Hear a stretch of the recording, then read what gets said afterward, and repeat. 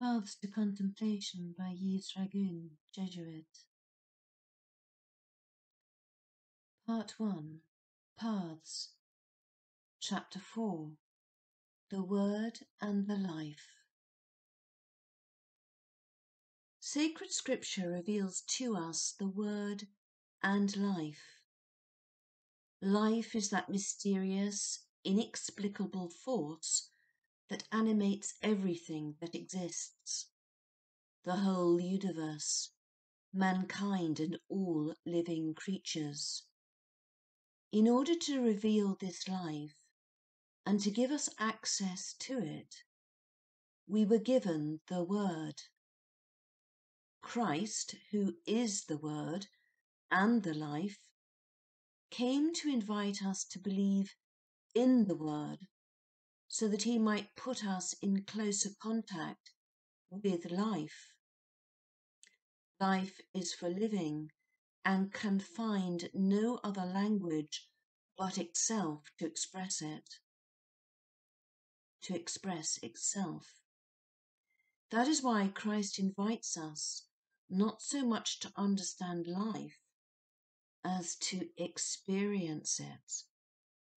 If only you recognized God's gift, our Lord said to the Samaritan woman, and who it is that is asking you for a drink, you would have asked him instead, and he would have given you living water.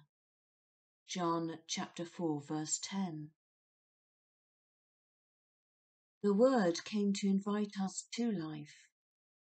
He described it for us, showed it to us, and made us understand it insofar as human language can make the reality comprehensible.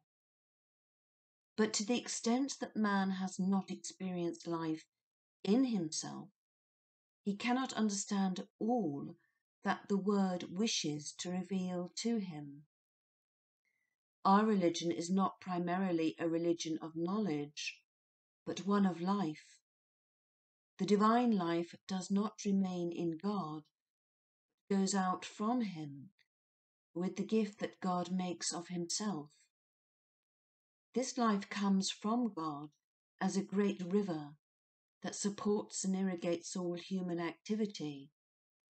This life nourishes all the cells of the spiritual organism, but no one can master it except Christ, who is both life and word. This divine life animates the church, and the church dispenses it throughout its whole liturgical body. The great mystery of the Christian life is this divine life that animates it. Christ possesses this divine life in its fullness because he is God, and he gives it to men who receive it and make it their own insofar as their capa- as insofar as their capacity permits them. But this life remains like a great, mysterious river, unfathomable and boundless, so deep and so immense that man is as lost in it as the tiny fish is lost in the current of the sea that carries it along. It is a boundless flood that carries us in the great silence of its holy, divine immensity. Without Him who is both Word and life, we would be always borne along without ever knowing what stream was sweeping us forward. But with Him, with Christ, the incarnate Word, we receive light.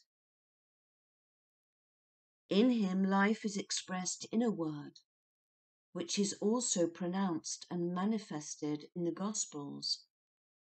Without this human word, we would possess life, but would not know whence it came or whither it was bringing us. Without the word given to us in the Bible, we would be like so many men who feel the divine presence in them but to express it in language that is little more than the product of their imagination. This is the explanation for so many aberrations outside Christianity and unfortunately also within Christianity itself. Men heard life itself speak, and their testimony leads us to its source. We can understand St. John's exaltation as he wrote at the beginning of his first epistle.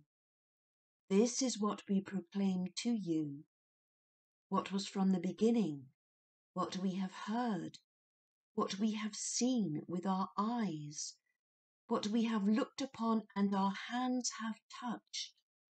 We speak of the word of life. This life became visible.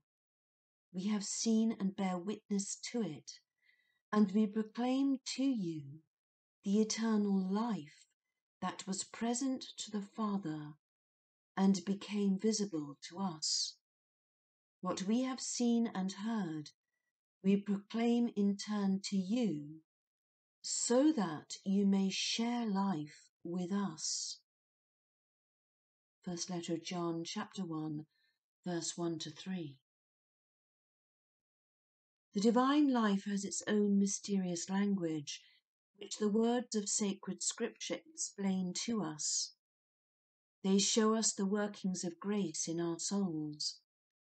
It is true that God shows himself in a thousand ways, in nature and in our humanity.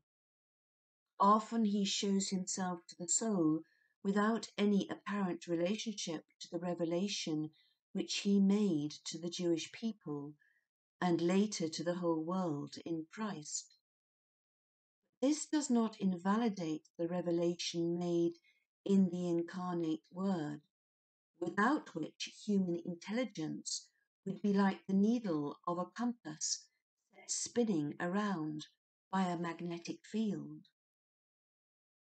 Man's mind would no longer be able to understand and express the experience which it has had of God. That is why, in the history of the religious life, revelation in Christ remains the definitive pole that orient, orientates every other experience and every other partial revelation. Everything has been said to us in Christ because in Him God has given us everything that can be received by a creature, and the remainder is shown to us in the infinity of the divine mystery. Anyone who wants to set out in search of God has a sure guide, one who is the truth and the life and the way that leads thereto. No other spiritual guide is able or ever will be able to do more than point out the road or a part of the road, since, unlike Christ, no guide is the road from beginning to end. Yet, although human guides are only guides and nothing more, it is usually necessary to have one. Ordinarily, God does not wish those who are searching for Him to set out alone over the steep paths that lead to the depths of his mystery. If you want to begin the search for God in contemplation, take up the scriptures, study them under the direction of the church, and choose a director who will keep you company on your journey. The words of scripture, those of the church and those of your spiritual director, will be your light as you go in search of life.